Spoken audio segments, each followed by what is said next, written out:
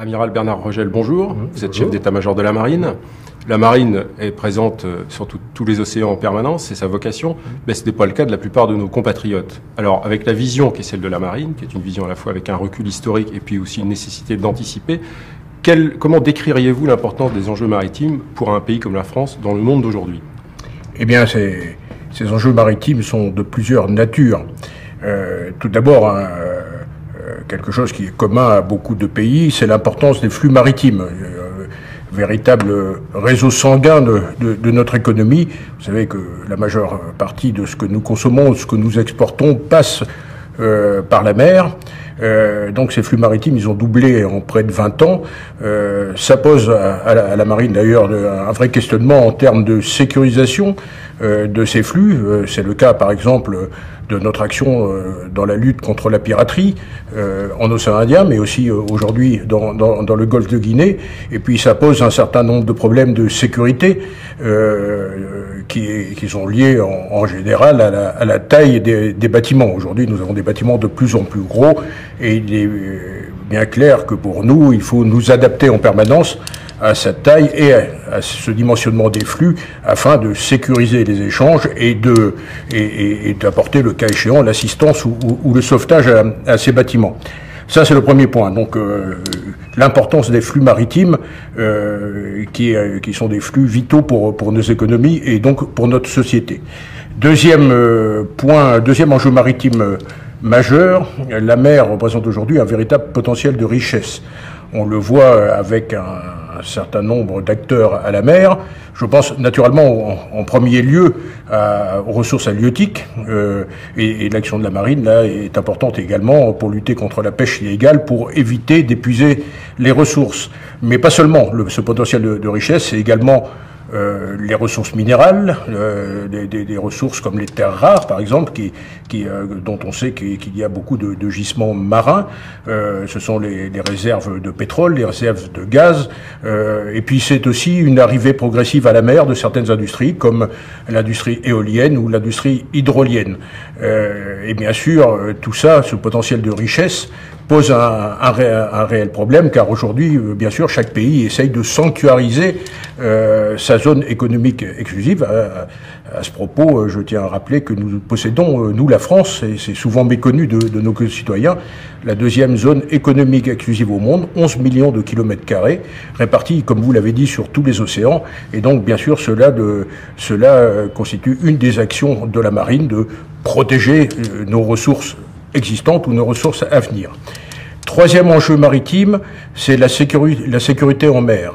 Euh, quand je parle de sécurité, c'est en, pas en opposition, mais en complément euh, de la défense. Euh, euh la mer a un, grand potentiel de liberté d'accès, mais cette liberté d'accès qui nous est utile pour les flux maritimes, elle est également exploitée par un certain, nombre de trafiquants, trafiquants de drogue, trafiquants d'êtres humains, ça s'appelle l'immigration illégale, et trafiquants d'armes, trafiquants en toutes sortes, qui profitent de cette liberté de passage pour, euh, pour devenir de, ce que je, qualifie souvent de, de voyous des mers.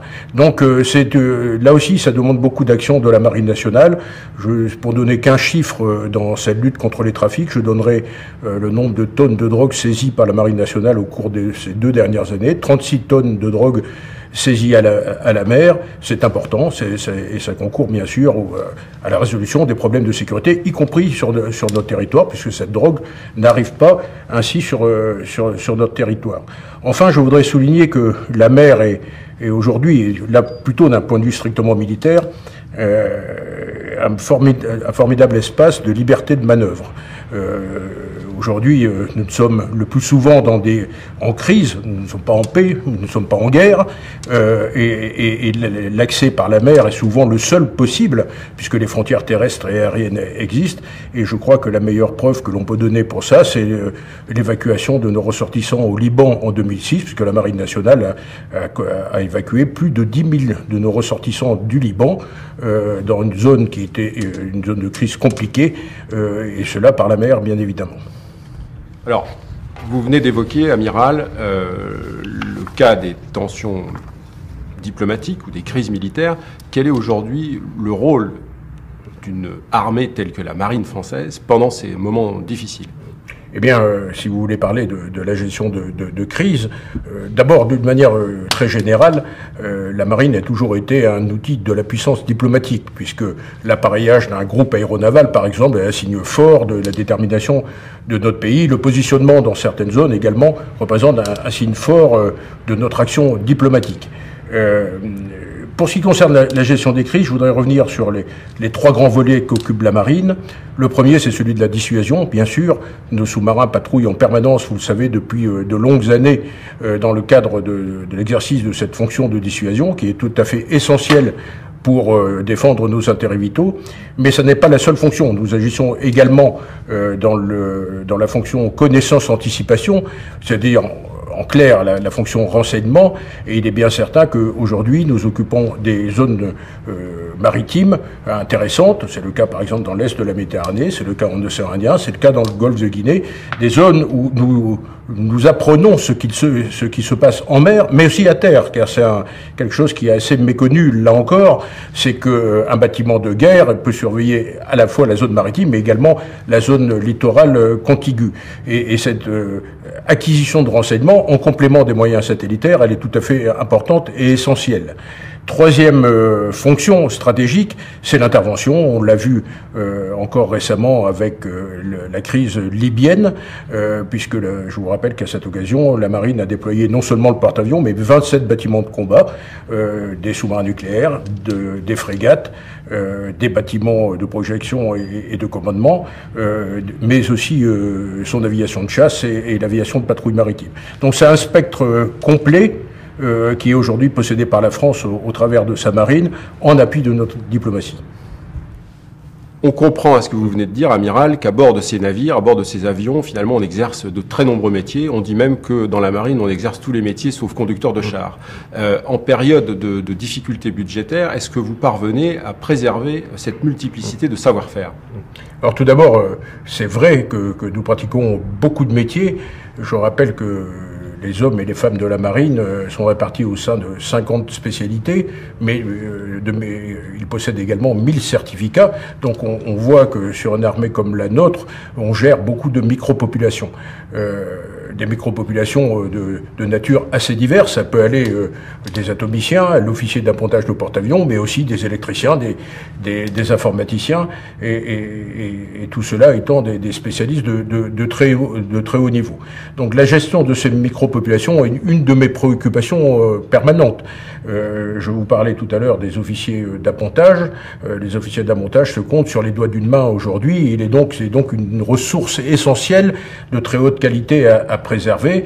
Et il est bien certain que dans la période de réduction continue d'effectifs que nous connaissons depuis quelques années, euh, la gestion de ces micro-populations est tout à fait euh, une préoccupation majeure pour moi, car il suffit d'une spécialité manquante pour que le bateau n'appareille plus. Donc c'est vraiment une préoccupation de tous les instants. Une question qui intéressera les jeunes françaises et les jeunes français qui nous écoutent. Est-ce que, malgré les difficultés budgétaires qui vous concernent comme toutes les armées, la marine continue à recruter? Oui, bien sûr. La, marine continue à recruter. La, marine est une armée jeune. Euh, nous, nous, avons besoin de gens jeunes à bord de nos bâtiments, car je rappelle pour ceux qui l'ignorent que le métier de marin est un métier difficile, c'est un métier physique, c'est un métier que l'on exerce dans des conditions pas toujours faciles. Euh, la mer n'est pas toujours clémente, euh, c'est le moins qu'on qu puisse dire, et, nous avons besoin de gens euh, à la condition physique euh, irréprochable. Donc c'est nous euh, réussissons euh, à, garder cette marine jeune par un flux permanent. Pour vous donner un, un chiffre, la marine recrute chaque année euh, près de 3000 jeunes hommes et jeunes femmes dans notre pays. et c'est donc ce flux qui est tout à fait important pour garder une marine jeune et une marine enthousiaste et dynamique. Alors ces jeunes Français, ces jeunes Françaises qui peut-être euh, vont, euh, en vous écoutant, décider de, vous rejoindre, auront peut-être la chance de naviguer sur une frame dont vous venez de, prendre livraison du premier exemplaire et d'autres suivront. Et bientôt, ce seront les sous-marins nucléaires d'attaque qui vont être renouvelés. Qu'apportent ces nouvelles unités à la marine? Alors tout d'abord, je, je, voudrais euh, préciser que la marine était arrivée dans une phase de modernisation. Nos bâtiments, euh, pour, certains d'entre eux en tout cas, commencent à avoir un âge respectable. C'est le cas des frégates, c'est le cas des sous-marins nucléaires d'attaque.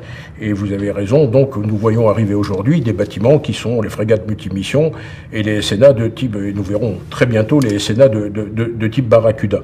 Euh, ces bâtiments, ils sont modernes, ils sont adaptés aux crises euh, que l'on rencontre aujourd'hui. Ils seront, euh, et c'est un atout essentiel, équipés de missiles de croisière navale, ce qui donnera dans la, gestion des crises un outil tout à fait important, puisque nous posséderons dans les zones permanentes que j'évoquais auparavant des outils dotés d'une puissance de frappe importante. Amiral, au jour où nous parlons, Combien de bâtiments de la Marine nationale française sont-ils en mer et qui font-ils? Eh bien, c'est une question à laquelle je peux répondre très précisément, puisque tous les matins, euh, je me fais faire un briefing euh, sur l'action générale de nos, bâtiments, qui exercent encore une fois sur tous les océans, comme je vous l'ai indiqué. C'est donc euh, une vocation mondiale de, la marine. Aujourd'hui, nous avons très exactement 41 bâtiments à la mer, dont le groupe aéronaval, et, cela représente environ 6000 marins, hommes et femmes, qui exercent des missions euh, assez diverses. Euh, encore une fois, je crois que ce qui caractérise la marine, c'est la permanence de son action. J'ai coutume de regrouper ces missions sous la forme d'un trépied, premier, avec un premier pied qui sont les missions permanentes, euh, au premier rang desquelles la dissuasion, que j'ai évoquée tout à l'heure. Encore une fois, nous avons au moins un sous-marin nucléaire lanceur d'engins à la mer en permanence, mais ces missions permanentes, ce sont aussi les missions de connaissance anticipation, donc de renseignement que j'évoquais plus tôt, euh, et qui sont donc des missions pour acquérir la connaissance dans des zones maritimes et dans les zones littorales contiguës à ces zones maritimes. C'est le premier pied, les missions permanentes. Ensuite, euh, nous avons les missions d'intervention, euh, les, les, fameuses OPEX, euh, opérations extérieures, qui constituent l'une seulement de nos de, nos missions. Euh, et pour vous donner quelques exemples, et nous n'en avons pas manqué dans les, les 10 ans qui viennent de s'écouler, le Liban en 2006 avec l'évacuation de nos ressortissants, euh, la Libye euh, avec l'intervention de 27 bâtiments de, de, de, la Marine nationale, la Côte d'Ivoire où nous étions mis en mesure à la fois d'apporter un soutien à la force terrestre licorne, mais aussi euh, en mesure d'évacuer nos, ressortissants. Et puis, moins connu, le Mali, puisque nous sommes également, nous marins, présents au Mali par l'intermédiaire des commandos marines et également des avions de patrouille maritime. Le deuxième pied, donc, opération extérieure. Et enfin, le troisième pied, un pied important, qui est l'action de l'État en mer. Euh, c'est le sauvetage, la sécurité, euh, le déminage d'engins historiques. Nous déminons tous les ans près de 2000 engins qui ont été mis à l'eau pendant les deux conflits euh, mondiaux, et, c'est une mission permanente, puisqu'on estime aujourd'hui que, plus de 60% de ces engins sont encore dans l'eau et reviennent au gré des courants et, des marées, euh, mais aussi le trafic, euh, la lutte contre le trafic de drogue, la lutte contre la piraterie, la lutte contre l'immigration illégale, donc un, une action de l'État en mer qui est l'une de nos missions particulièrement importantes. Amiral Bernard Rogel, merci beaucoup et nous vous retrouvons à Montpellier le 3, les 3 et 4 décembre prochain. Avec le plus grand plaisir.